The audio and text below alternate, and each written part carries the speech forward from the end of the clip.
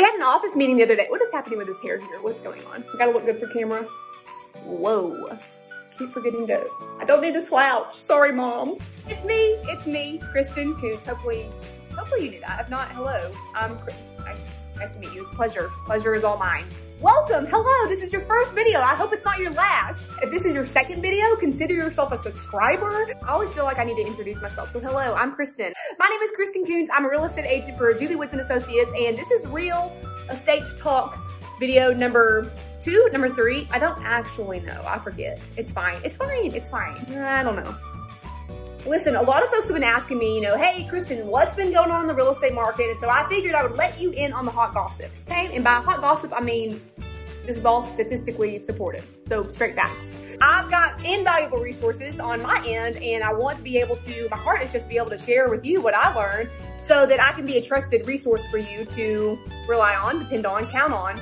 I'm sure you're wondering, what does that have to do with me, Kristin? Well, I actually, I don't know. It may have nothing to do with you, but it, it most likely has something to do with somebody that you know. And so you may not be looking for a house or you may not be looking to sell your house, but I guarantee somebody in your sphere of influence is. This information would be something to send to them. So for those of you who have been sitting on pins and needles waiting for me to tell you this, okay. yes, the market is still crazy. This is how it compares to last year, just to give you a good idea of, you know, what, what this actually means when we say the market is crazy. In August 2020, we had 708 listings. And in, in August of 2021, we had 523. So there's an inventory shortage big time. In August 2020, 193 houses closed. We had 221 houses closed this past August. So as far as volume goes, sales are up by 14.5%. That's insane. In August 2020, the median price was 185,000 we're currently at 230,000.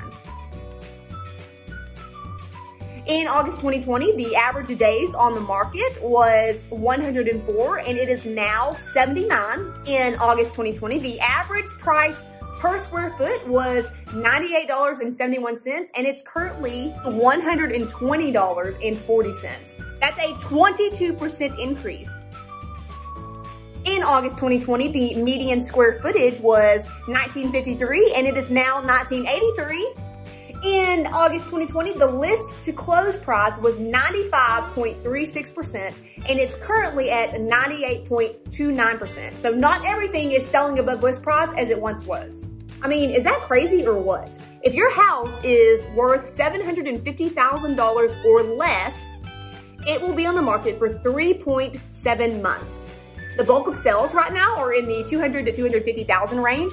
And these houses are staying on the market for an average of 1.8 months. That's including the contract period. So, whoa.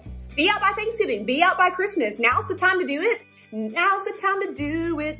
If you or someone you know is looking to buy, we are actually anticipating it becoming a buyer's market by the end of next year. So if you're financing, this matters because your affordability and the amount that you can buy will decrease and you will be paying more in interest. Please feel free to pass this information on to anybody that you know, tag people, share it, do whatever your little heart desires. I'm looking for referrals. As always, I'm looking to be your trusted resource, somebody that you can turn to for all of your real estate needs. So you keep me in mind. If you hear of anybody looking to buy a house, looking to sell a house, looking to just learn more about what's going on in the market, looking for a lender, whatever it is, I think I probably sound like a broken record, but my entire business is built around word of mouth referrals. You know, I'm very dependent on people like you. Thank you so much for just supporting me and encouraging me and trusting me and just staying with me on my journey. Whoop. To mute that. Sorry. I don't ever know how to end these videos. so I'm just gonna awkwardly laugh at the camera and then say bye-bye.